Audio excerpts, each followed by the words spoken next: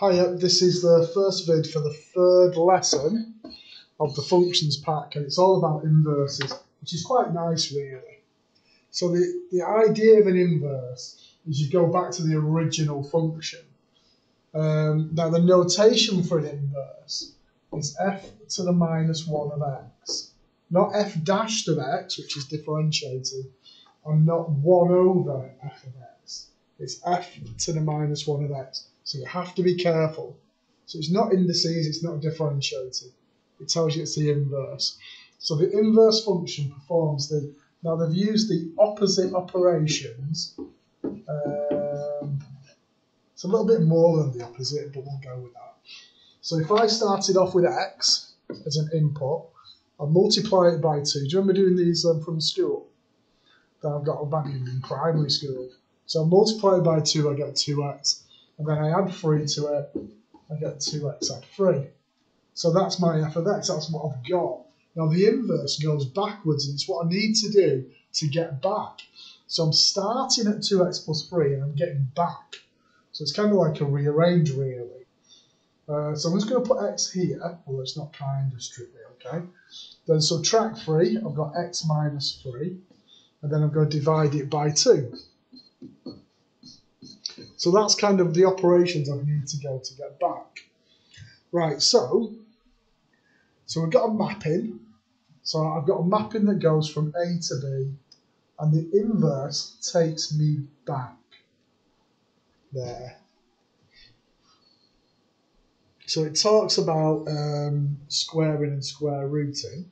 So if I start off with x, if I square root, if I square it, I get x squared. If I start off with x, I get plus or minus the square root of x. So I've got an issue here.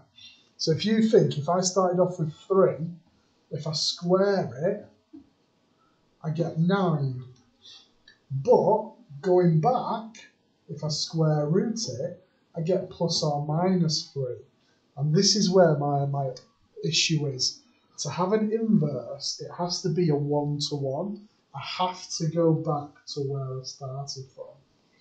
So it says here inverse operation of, oh, they've got G there. Uh, let's put, let's switch that F into a G. Then you're happy that we can use other letters. So the inverse operation is a plus or minus root x. So why does g of x not have an inverse? Because you're not sure where it's going back to. It can go back to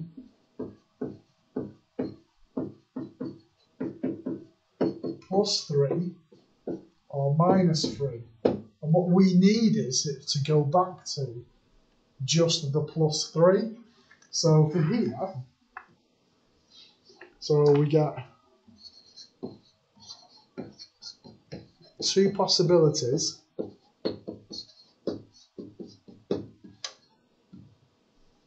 I'm not sure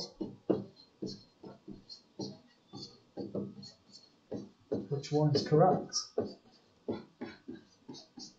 We need to go back to where we started from.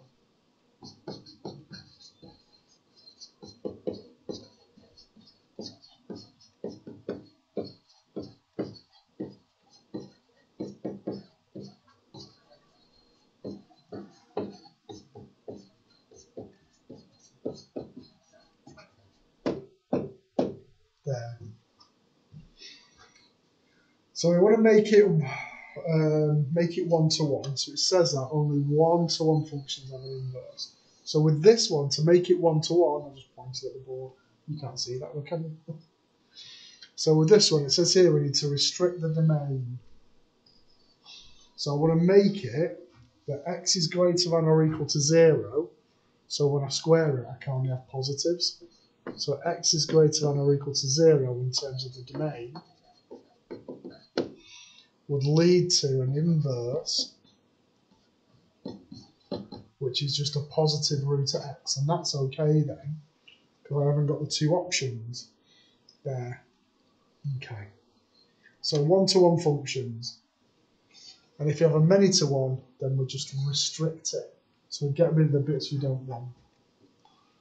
Right. So getting a one-to-one. -one. Uh, Let's have a look. So we've got like a way of doing it. So first thing is to change the f of x into y equals. So I've got y equals 2 over x minus 1. Now there's a reason we swap the x and y over, which we talk about um, in maybe later on. I think it is later on. But the idea is that you kind of do a reflection in the line y equals x. So it's quite nice and easy now. So I just swap the x and y over. And then I want to make y the subject. So if I switch them over, I've got y take 1 is 2 over x. So y is 1 plus 2 over x. So that's my third step. So first step, make it y equals. Second step, swap x and y. Third step, rearrange for y.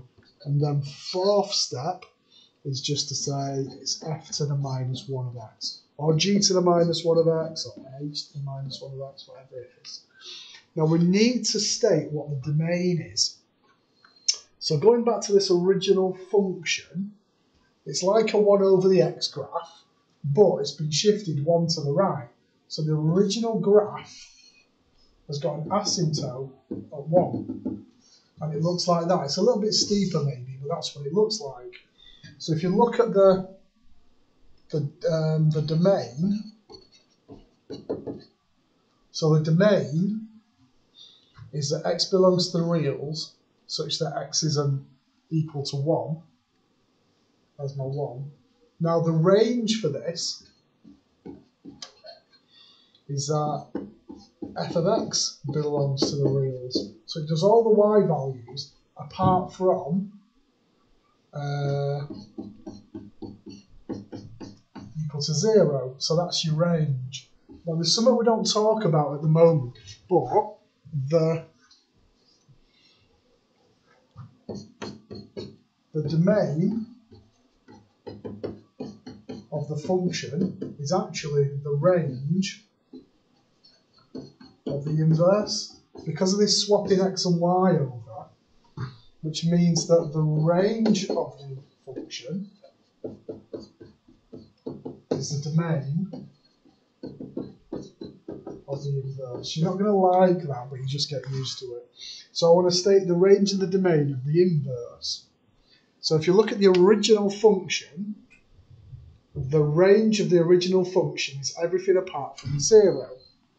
So that means that the domain of the inverse, so f to the minus 1 of x, belongs to the real numbers.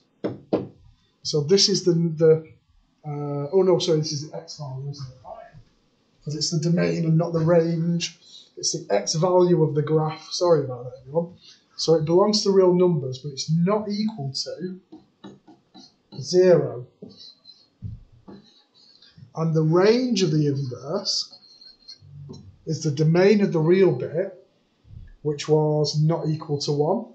So this is f to the minus 1 of x belongs to the real numbers.